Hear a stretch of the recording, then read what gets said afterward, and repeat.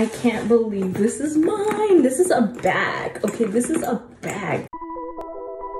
Hey cryptic creatures, welcome back to the crypt! If you're new here, I invite you to stay for more goth alternative and generally spooky content. All you have to do is hit that subscribe button. In today's video, we are doing an unboxing and review of the Gravedigger Killstar bag. So of course, like many people, I have seen the Gravedigger Killstar bag all over YouTube and basically all over the internet.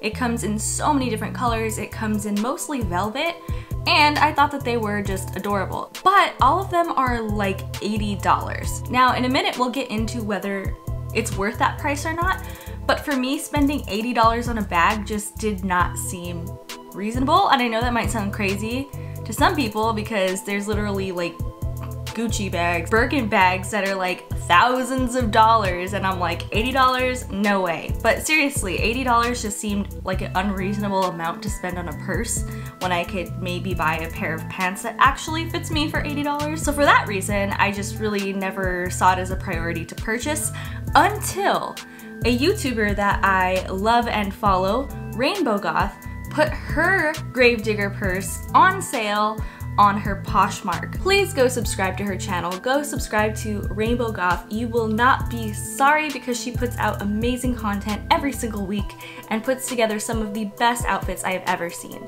So I actually did not buy this bag from Killstar. I got it for $30 on Poshmark, which was amazing. The moment I saw her post that, I was like, I need to get it. So I did get the kind of more leather looking black skull. When else would I get the opportunity to get one of these for $30? So I saw the opportunity and I took it.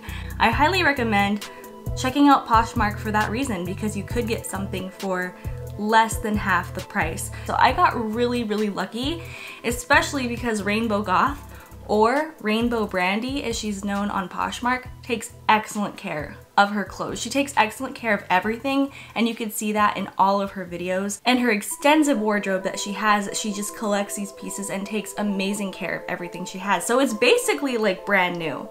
And it's a great bag. It's such good quality. So I have to say the quality is really good. And this thing is huge. Like look, it's like, I think it's bigger than my own head.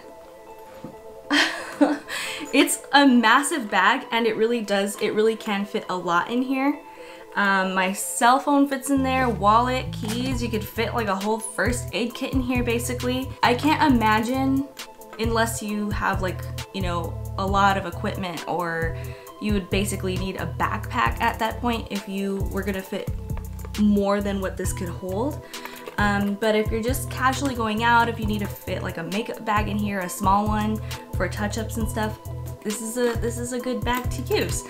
The only thing I'd say is I do wish that the straps were located in a different space because the straps hook onto the side of the head, which means when you wear the purse, it faces out like this on the back of the head, which is kind of flat, but I feel like it creates this sort of like imbalance. I wish that the straps were on the front and back of the head so that you could hold it against your body like this. I feel like it would be more balanced as opposed to holding it like this, if that makes any sense.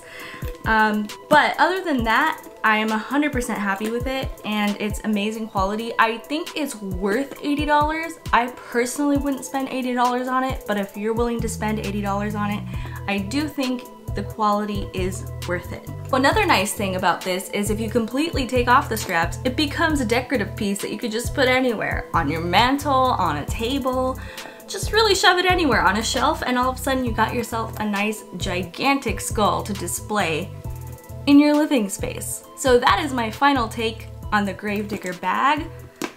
If you're looking to get yourself one of these, check out Poshmark, check out other uh, secondhand sales first. You might find one for cheap, but if not, and if you really want one, I do think that the quality is good enough that it's worth the price. So that is it for today's video. Let me know in the comments if you have one or if you've been looking for one of these and what you thought of the quality of the bag.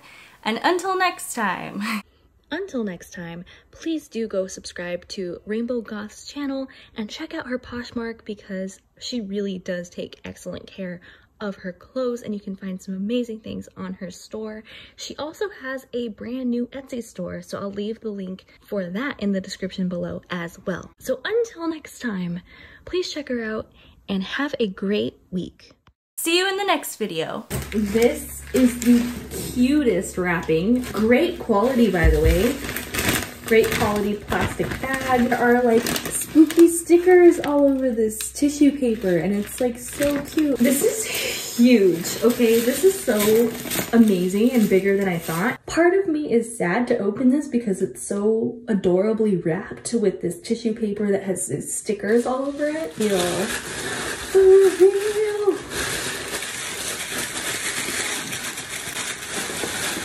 Bum, bum, bum, bum.